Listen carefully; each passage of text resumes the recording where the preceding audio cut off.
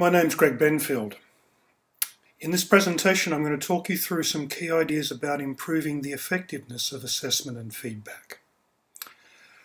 I'll have to leave it to you to decide how to interpret these ideas in relation to your context, the subject you teach, the department and institution you're in, whether or not your course is delivered primarily by face-to-face -face methods or substantially online or a mixture of both. These are the intended learning outcomes for the session. We focus on current issues in assessment and feedback and on some practical issues for your teaching. Many of the ideas in this presentation are from the work of the ASK Centre for Excellence in Teaching and Learning. I'd especially urge you to read this book by ASK on the topic if you want to delve into some of those ideas more deeply.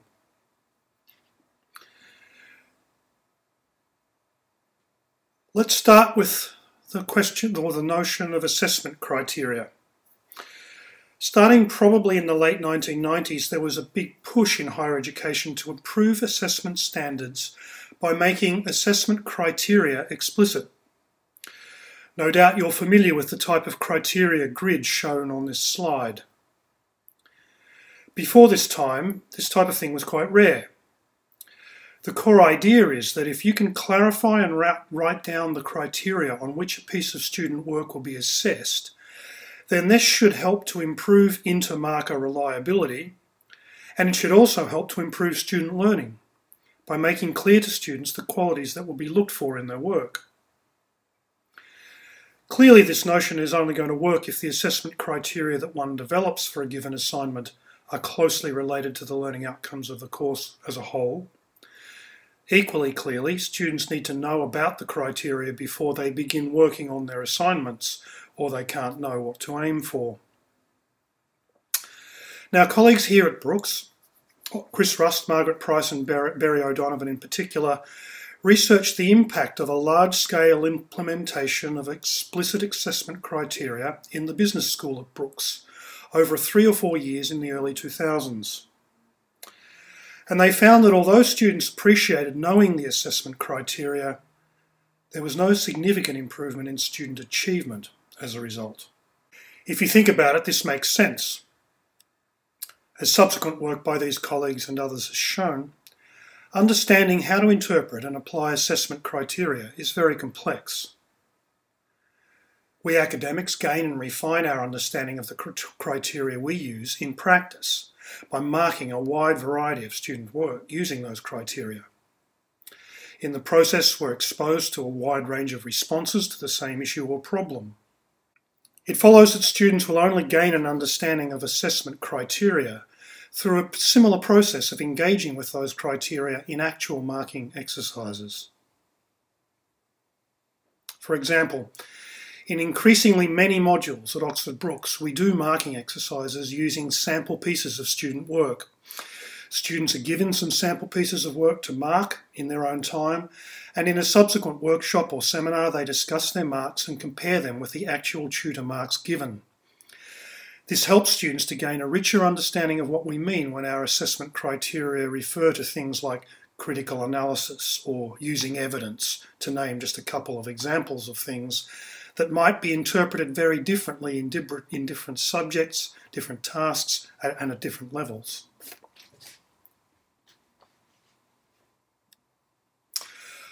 Okay, we turn now to some definitions. Frequently we, we refer to two basic kinds of assessment in higher education. Formative assessment, which is now often referred to as assessment for learning. This is assessment whose essential purpose is helping students to learn. Formative assessment usually doesn't have marks attached to it, although it might.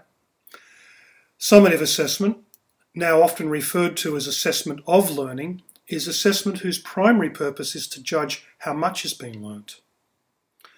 Summative assessment usually comes at the end of a period of learning. It focuses on judging performance, on grading, on differentiating between students, and it usually carries marks. Now, one of the things that the research is very clear about is that summative assessment tends to be of limited or even no use for feedback on learning. Now, if a course has an overemphasis on summative assessment, then a series of consequences might follow. Too many high risk assessments might encourage students to adopt surface or strategic approaches to their learning. They may encourage students to adopt an atomised approach to each assessment so that they fail to make the links between what they've learned before and what they're trying to do now. An overemphasis on summative assessment can encourage students to play it safe or to avoid risk taking. As I've already mentioned, summative assessments tend not to provide useful feedback, and especially early in a course, failure can seriously damage self efficacy. And of course, overemphasising summative assessment can also be time consuming for staff. In general, in higher education, we need to shift the balance of assessment more away from summative and towards formative assessment, towards assignments whose purpose, main purpose anyway, is to help students learn and give them feedback. Studies consistently point to assessment and especially feedback as being the areas students across the sector are most dissatisfied with in their experience at university. Yet there's an abundance of research going back many decades showing the importance of feedback to learning. This slide and the next one point to a few of these. Learners need effective feedback in order to learn. We also know that students who are struggling in their courses, for whatever reason, have the most to gain from improvements to our feedback processes. A slide two slides back contained a quote saying students are hungry for feedback. Yet many teachers are familiar with the phenomenon of stacks of uncollected work representing hours and hours of carefully constructed feedback sitting outside their offices until they're eventually thrown away.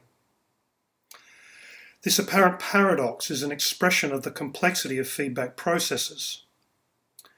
There are a variety of well-documented problems with feedback. This slide gives you some of them and some papers to follow up on regarding some of the dimensions of these problems. For example, why don't students read their feedback? Well, often this is not carelessness or lack of motivation. Frequently, students have very good reasons for not paying attention to it. We know, for example, that many students are only interested in the mark. They may believe that the feedback on this assignment will not be able to help them on any subsequent assignments, and sometimes they can be quite right about that. If they've frequently received feedback in the past that has been unhelpful, then this will also colour their attitude to subsequent feedback.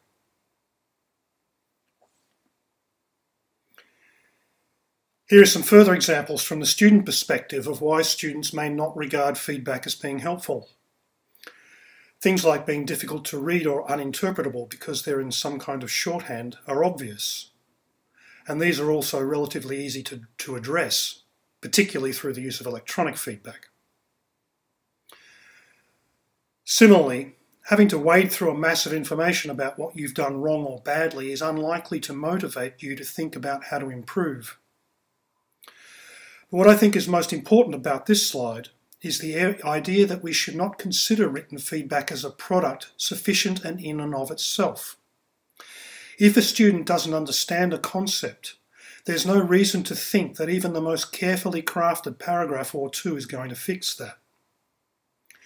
Feedback needs to be thought of as part of a process, a dialogue.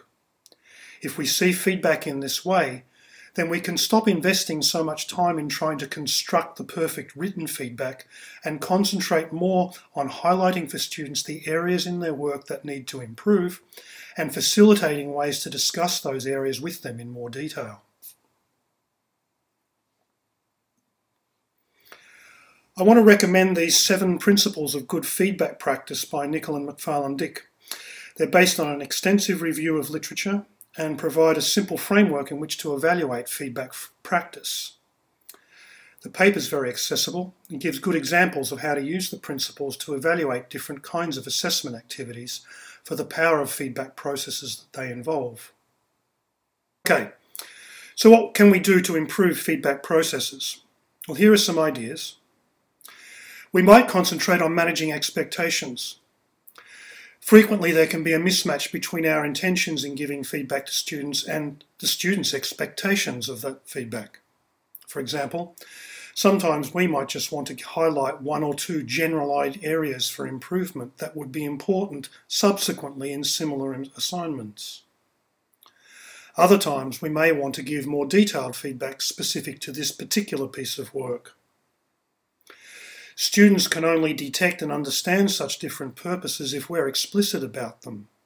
In other words, if we precede our feedback by saying something like, in this feedback I will only comment on the two most important areas for further development, and so on.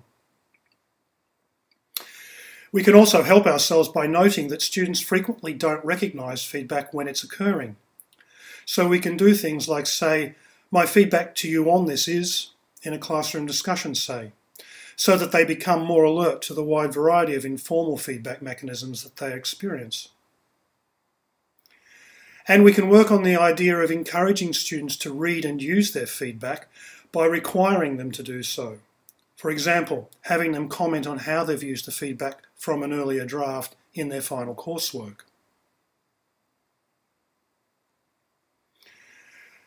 Very quickly then, here are some summary ideas about how to ensure feedback is fit for purpose.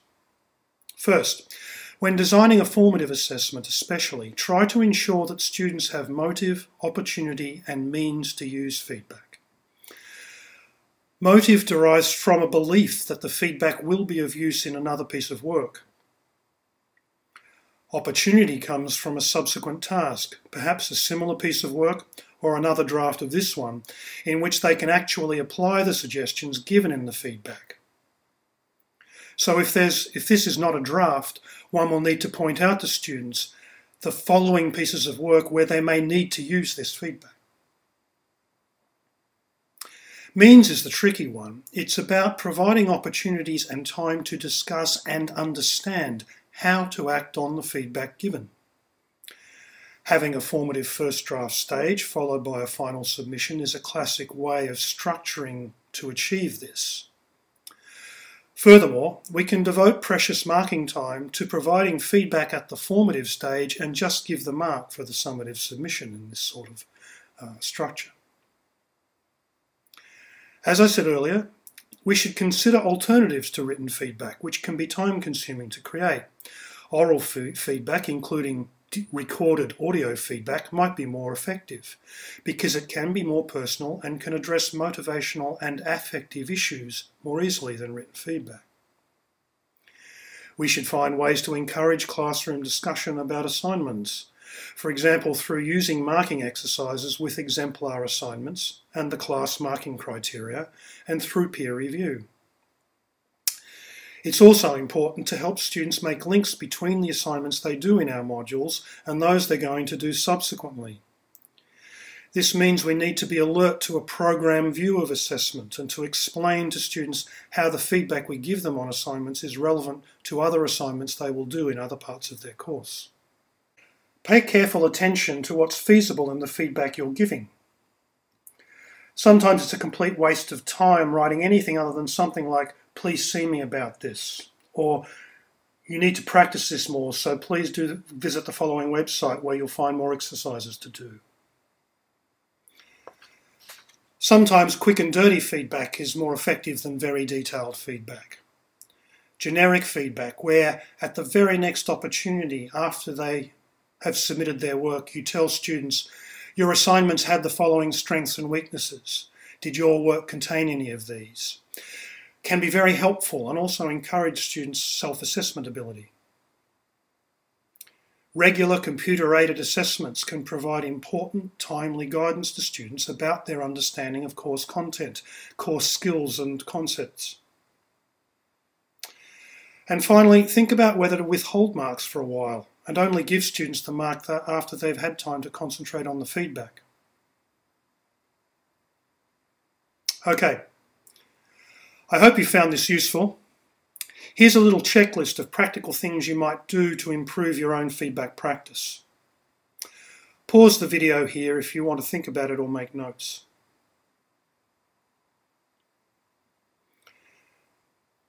There are two slides of references cited in this presentation. Pause the video on each one if you want to follow up on something. Bye for now.